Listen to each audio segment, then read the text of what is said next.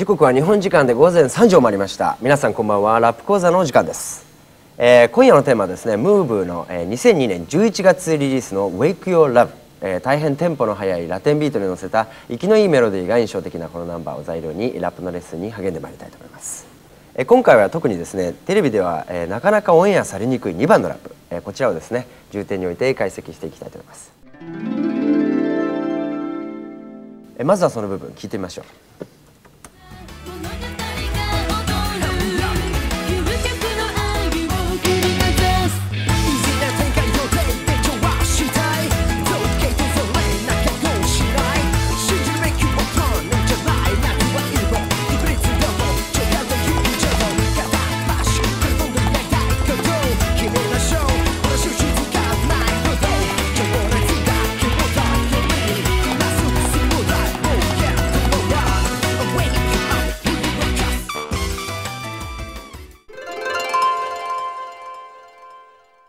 え詩の内容ですね。特に前半の部分。予定で調和したい？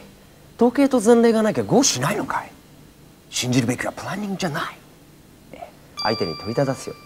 そして同時に自分にも問い,、えー問いかけるようにですね。ここで守りに入ってはいけないんだ。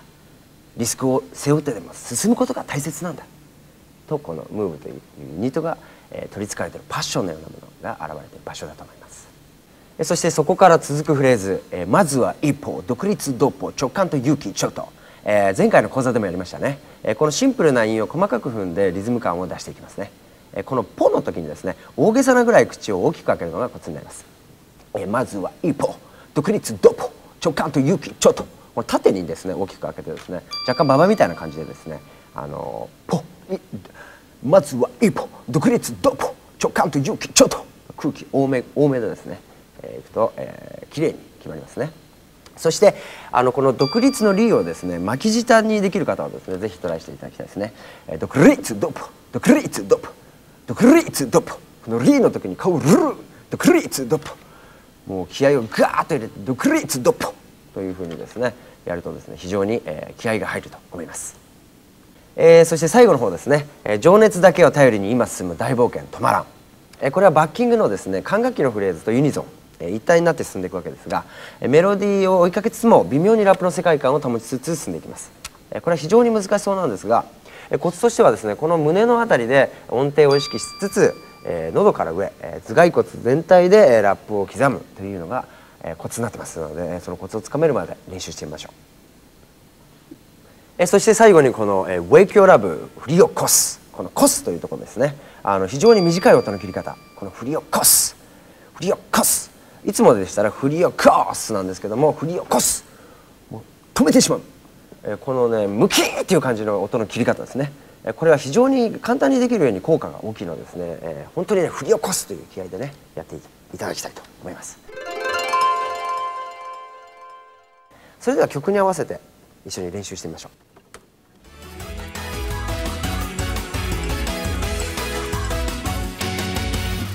イージーな展開予定で調和したい。統計と前例なきゃ GO しない。信じるべきはプランニングじゃない。まずは一歩。独立独歩直感と勇気ちょっと片っ端からどんどんやりたいことを決めましょう。これは収集つかないほど情熱だけを頼りに今進む大冒険止まらん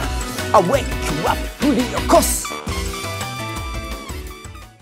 いかがでしょうか？決まりましたでしょうか、えーこの最後の振りをこすというところにですね全身全霊を込めていきたいと思います、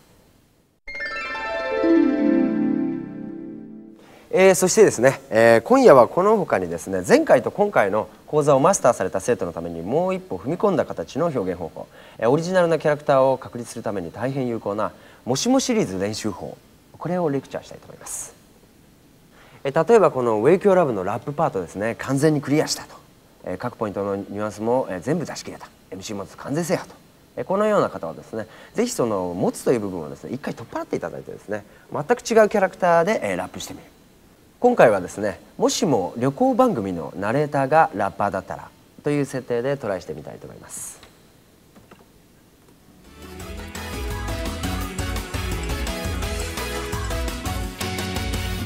イージーな展開予定で調和したい。統計と前例なきゃ GO しない。信じるべきはプランニングじゃないまずは一歩。独立どこ直感と勇気上片っ端からどんどんやりたいこと。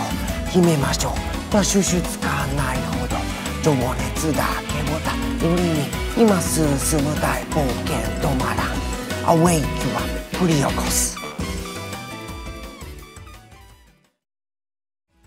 いかがだったでしょうか？えーもしもシリーズ練習法皆さん独自にですねえーいろんなキャラクターにチャレンジしてえーその過程で自分の道を見つけていくというのも一つの方法ではないか。そんなふうに思います。芸事は何事にも反復練習。午前3時のラップ講座。今夜はここまで。さようなら。